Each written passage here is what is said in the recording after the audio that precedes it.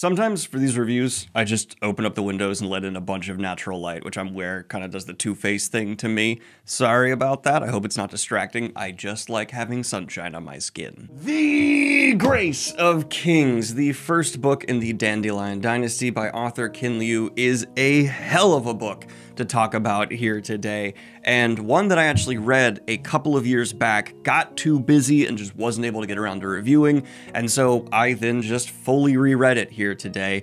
And for anyone who has read Grace of Kings, you'll probably understand when I say, I'm really glad that happened. Not only is it a delightful book that's a joy to read from beginning to end, but it is girthy enough in scope that reading it twice before reviewing it is just beneficial. I also, in my brain, was starting to meld what happened in the second book and the third book with the first book, and I just really wanted to avoid ever accidentally spoiling something here, so it was the right call for me to just fully go through this again, and it really does hold up on a second read. I genuinely loved going through this again, and let's talk about why this book seems to make such an impact with such a high percentage of the people who read it. The story of Grace of Kings covers a war its aftermath, and then another conflict. No, I'm not talking about the full series of the Dandelion Dynasty. I'm talking about Grace of Kings. This is one of the broadest narratives in terms of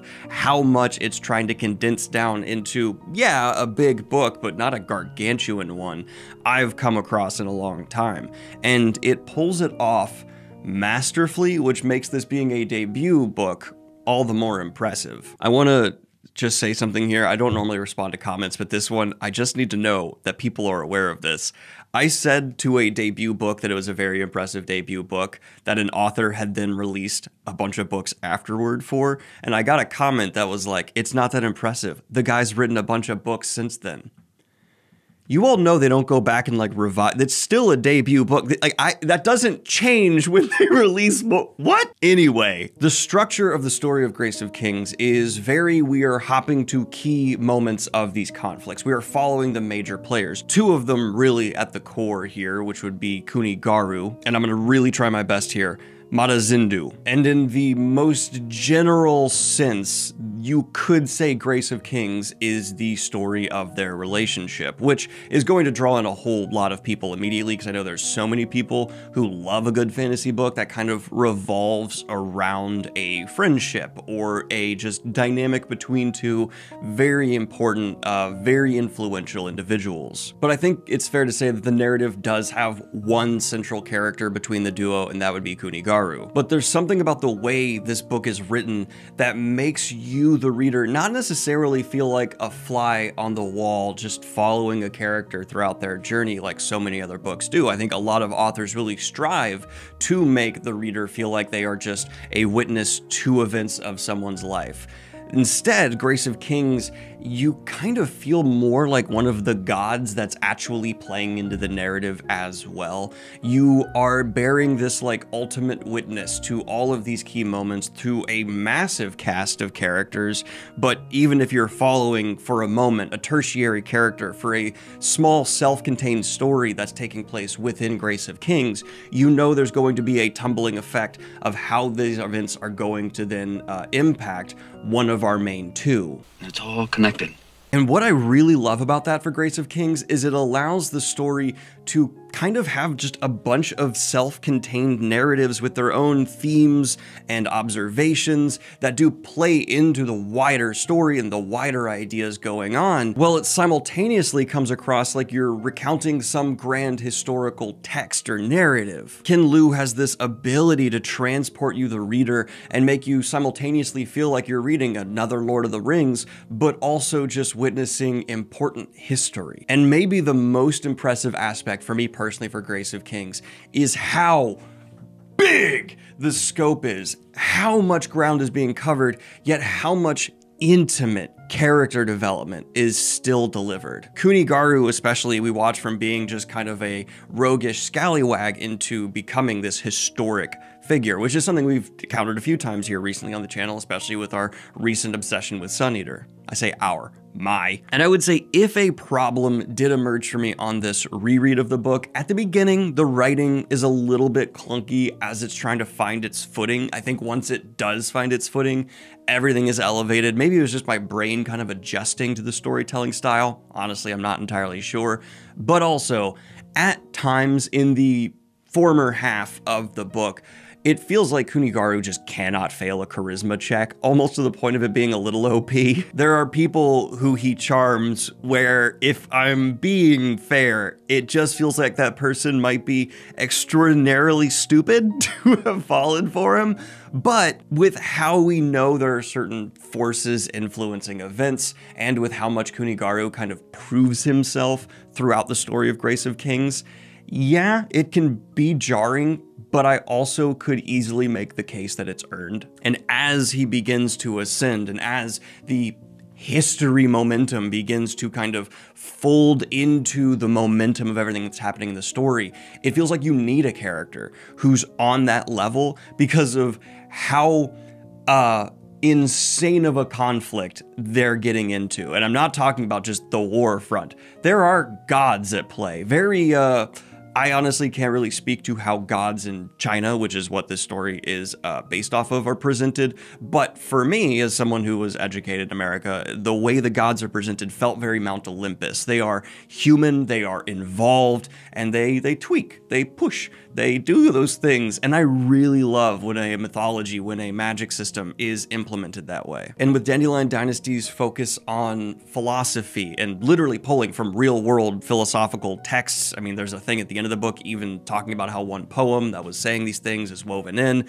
and I think it's done incredibly well. On reread, I was really looking to see if things felt heavy handed at times. And specifically with observations on love and tragedy, there is certainly a formula that I feel uh, Ken Liu is falling back on to an extent. You could argue, though, that in wartime, love is a vulnerability, and so yeah, there's often going to be attempts to strike at it. Again, towards the latter half of the book, there are some subversions to that pattern that emerges earlier on, and so well at a time you could be like, wow, this is happening a lot, and it feels similar. It then goes on a left turn, and you kind of have this like, Ah, all right, wah, momentum to what you thought you'd be able to predict. I'm trying to keep it spoiler free, and I really hope I'm doing a good job. It's almost magical how effectively this book is able to, again, as I said, jump from event to event. I mean, you're not following, you know, typical insert protagonist as he's marching across the land. You jump from important events in their lives to important events in their lives.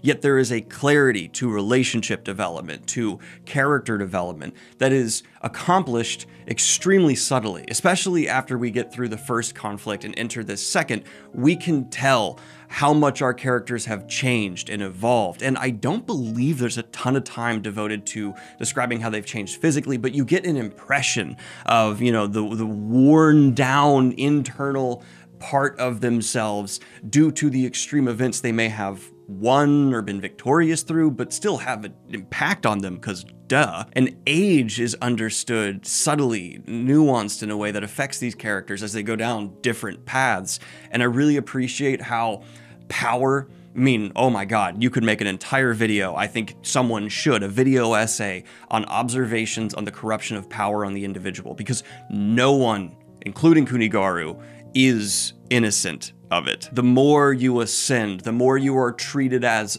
other, it's going to warp your brain. It's going to make you make decisions, whether you're still on the right side of history or not, that you wouldn't have made before. If you came up from the bottom, if you were just walking the streets one day, you would absolutely never imagine yourself being able to make a call that would result in tens of thousands of people dying. But if you are becoming powerful, you are forced into those situations. And as you make them again and again and again, it's going to chip away at a part of you. You can still stay devoted to your cause. You can still try and be a good leader. But that's where Grace of Kings, especially as it kind of gets into its uh, closing chapters, really starts focusing on legacy.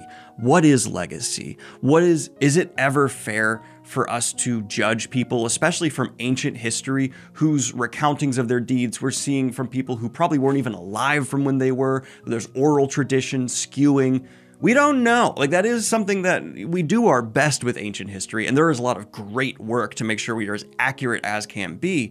But, I mean, modern history already has propaganda and skewing going on, so Lord knows, you know, what has influenced how we view these people now, especially when there's so many concerted efforts from new rulers to make the last ruler look bad and make themselves look great and go on and destroy historical records of that person. Without question, I would say Grace of Kings is the most thought provoking book I've read so far this year. In terms of what it's trying to say, I just wish at a couple different points there were not yeah, I guess monologues removed that were too clearly trying to tell the reader all of these things I just said that are happening in the book. Uh, there was one uh, monologue in particular between Mata and a love interest for them where it quite overtly says what I just said here in the review. And I was like, I get it. I'm sure everyone does now. And that's a personal preference taste. I know some people kind of like that. Okay, here's what I'm trying to say. It's just for me was a little too much. And in a land that is so filled with hidden daggers and poisons and scheming, there are these moments of just like two good people meeting and it might not be the most impactful uh, moment for the larger war, but there's these scenes where you, you, get to see someone who was on the right side of history but has now grown wiser and regrets some of their actions, meeting someone who is fundamentally uh, in their life on a similar trajectory and they're able to exchange ideas and while this person isn't able to totally change the other person there's this like safety this comfort that's provided from seeing two good people meet and simply talk. It's a special book that can just have two characters meeting and exchanging and getting along and make you as the reader so excited, just as excited for that meeting as many other books uh, strive to get you for like an action sequence or a tremendous battle. I would say the book elevates from great to brilliant after the first major conflict is resolved and we begin setting up and transitioning into the second. Because unlike what so many books do, it really leans into the chaos of victory, right? Once you achieve a certain mission, the real challenge, as is said in so many different movies, begins. The problem is, so many of those movies, books, what have you, don't actually really commit to that. Grace of Kings does. I would say there is a greater sense of danger in the latter half of the book than in the former. And once the corruption of power starts more heavily coming into play, and there are some like kind of blunt, okay moments to it, seeing our characters have to shift their skill set and succeed and fail at times into going from being conquerors to leaders. Oh, because, you know, Kuni Garu, as I said, he is presented as this genius, and he really is an intelligent leader, someone who is generous, someone who understands the individual, is willing to give anyone a shot, but that doesn't mean he's intelligent in every way. And so there are failings, too much trust, attempts at trying to smooth things over that, yeah, you understand where he's coming from because we're kind of in his head, not so much, but we, we know how he thinks. But it gets into that seemingly unavoidable trap for good people in court politics where you can go in with the best intentions, but if people view you as a threat, it doesn't matter how honest you are, it doesn't matter how little power you are seeking, they're gonna see an enemy in you. And you can't change someone who sees you as an enemy if that's how they're dedicated to seeing you from doing that, no matter what you say. Words can't solve every problem, which is a great tragedy of history. There is a ton of bloodshed that could have been avoided in this book if our main character made a better choice. But that doesn't ruin them. It doesn't make them just wallow in pity or try to reframe them as a villain it's almost dispassionate. We have that view of like the ultimate God witness, just seeing what is important throughout history. And while sometimes, yes, it did feel like it was being shouted, and early on the writing felt a little more unsure of its footing as it does later on, uh, Grace of Kings certainly overcomes those flaws, and overall, I would rank up among a must read for modern fantasy. I'm going to give it a solid 8.5 out of 10 and uh, I think there's plenty of room for the sequels to climb even higher. And if I remember right, they do. Okay, so I'm at the point in editing where I literally just put in that harp 8.5 sound effect, and I was like, okay, I've gotten my rating down. Let's go check what other people are saying about this book, because I try and avoid it until I get all my thoughts out. And I was shocked to see that Grace of Kings is below a 4.0 on Goodreads, which, you know, hey, you know, everyone's allowed entitled to their opinion, but I wanted to see why. Like, what are people's comments? And I found two things I really disagree with. Um, well, one I actually can't comment on, so three. The third is that some people were commenting on how it pulls from Chinese history. As I said, I'm not very educated in that, unfortunately. Uh, I've actually learned the most about Chinese history through reading fantasy books based in China, which is obviously not a very uh, accurate or uh, informative way to go if you're looking to get like the real implications and everything. So I uh, can't speak to the third point. But the two that I can is one, people were talking about uh, female characters. And I can see how this isn't going to be regarded as like a, a, feminist masterpiece, though I will push back and say that's kind of addressed, that it, it's part of the setting, right? Because at these points in history, women were treated like and I don't think Grace of Kings then takes away their agency. In fact, there's two female characters who kind of their arc is about seizing agency despite what the setting is doing around them. So I disagree there and, you know, feel free to debate me in the comments. I just feel like these characters had a whole purpose, a whole momentum to them of going through extra layers of difficulty um, that our other main male characters are not, because they're not only fighting in this wartime to stay alive, garner power, but also address the just abhorrent sexism against them. Um, and the second point was some people saying that it was just too long of a book. I cannot imagine a book covering this much ground so quickly and saying it needs to be shortened. I I'm confused by that one. That one I just what? You want this to cover the same amount of ground faster? What? So let's go ahead and transition into spoiler talk because I want to talk about our two main pro antagonists because wow, does uh, their Jade Dynasty have a lot to say here? So we're going to go ahead and transition. I think I've given you plenty of time to click off the video in three, two, one. Friends to rivals. One of the best tropes, I think, uh, for motivating conflict in the genre. It takes a uh, bold writer, someone who is willing to eventually make ultimate sacrifices for characters they love to write. Uh, but Grace of Kings might be among the best to do it, and it's partially due to that huge scope we brought about because with Kuni Garu and Mata, I really hope I'm saying that right. My dyslexic ass brain is so bad with these names. They complement each other so well in the first war when they work together, right? Having that strength led by that brain is perfect. And it almost felt like the first war was decided as soon as these two started working together. Because it's like, there is no way this corrupt ass emperor is going to be able to overcome this level of genius and cooperation. And they have chemistry. Maybe one of the most badass yet goofy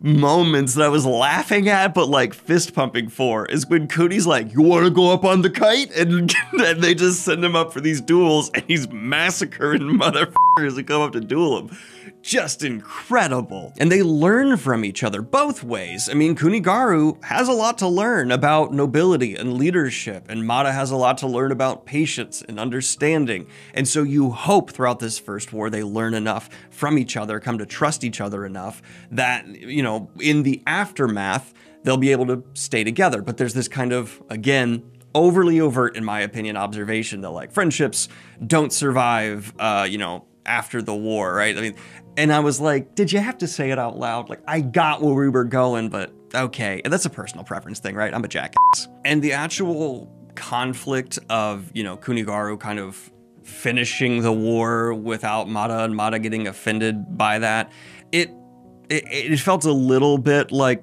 come on, are we really gonna have this be the cause of all of this? But once uh, Grace of Kings doubles down and really starts to cause the schism here, and we see how power corrupts Mata, uh, it became very believable. Uh, there's a little bit of turbulence while that transition happens, but honestly, such a dramatic shift in dynamic between two characters is almost always going to have a little bit of turbulence. It's hard to pull off that kind of relationship pivot, but folding it in with these escalation of power and both of them, frankly, changing how they view themselves in the world, it becomes more believable. I think even more so if I remember uh, clearly on a reread. And I like the specific spices used to show how these men are changing. Kuni Garu, uh, he is almost cheating on his wife. He is, you know, eventually that's kind of, they just agree to be polyamorous. Is that the right term to use? It's like political, I don't, no idea. Sure. But inevitably, when people start treating you differently, you change. And so, yeah, Kuni Garu's ego inflates and his ambition rises. He goes from someone who just wants to overthrow a corrupt government to someone who wants to implement a whole new ideology, right? He wants to totally change, you know, how the world is handled. And it's easy, right? If you're a simplistic reader, just be like, Kuni Garu's on the right side of things. Great.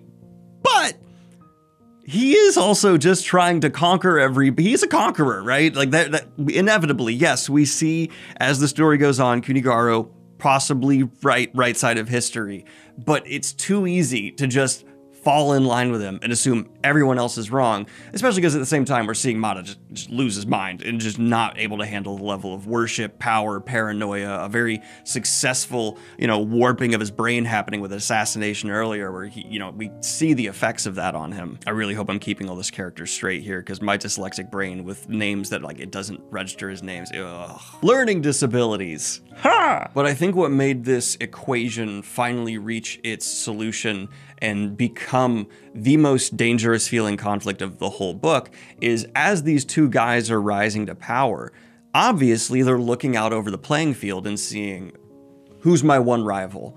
Well, if you're one of the duo that essentially won the war, who's the other big rival? and you so desperately want to see these two start getting along again. You so desperately want this friendship to rekindle because you knew, because you know if they reunited, they would be able to make all kinds of incredible change, but what's preventing him from doing it is so human. Ego, perceived slights, insecurity, desire for more power, all of it makes sense. And while Kuni Garu's kingdom is maybe painted a little too much as a utopia too fast, it fits into the just swaths of time and change that Grace of Kings kind of blurs together in the way it presents its narrative. So I'm able to forgive and be extremely lenient, justifiably, uh, with how much change happens in his corner of the world while he's relegated to it. And at the same same time, while Kuni Garu is building this progressive haven, we see Mata just falling back into old ways, and while he's being manipulated and while he's not mentally healthy, you still end up resenting him for his actions, right? The guy butchers, I think, 20,000 soldiers for no good reason and you're just like yeah you were told to do it by someone who's sketchy but you still did it. Uh, you bad bad. Yes sir he's a very bad man indeed. And so for the final conflict you're positioned fully behind the right character for the ending to be cathartic yet tragic. Uh, there is this release of victory but i never felt good about it because of how much you know in your heart these two could have been a great friendship for history, but instead the tragedy of Kuni Garu having to put down what essentially became borderline a big jerk or something like that. The beat of the false treaty, I feel like could have been lifted out, but I get even why it was there. And uh, I think this is one of my new favorite court politic toll war consuming uh, fantasy books of all time. Definitely ranked up high there. And uh, if you haven't read it and you're still here, absolutely do. It strikes the palate remarkably different. It's narrated by Michael Kramer, which Yay. Like and subscribe if you have not already. Keep an eye out for my bookshelf roast dropping as soon as the sponsor approves the spot in it. And like and subscribe if you have not already. Hit the Patreon if you want to support what I do here. And my Fringe video is in its final round of copyright claim approvals, so get ready for that as well. Have a good one, y'all. Goodbye!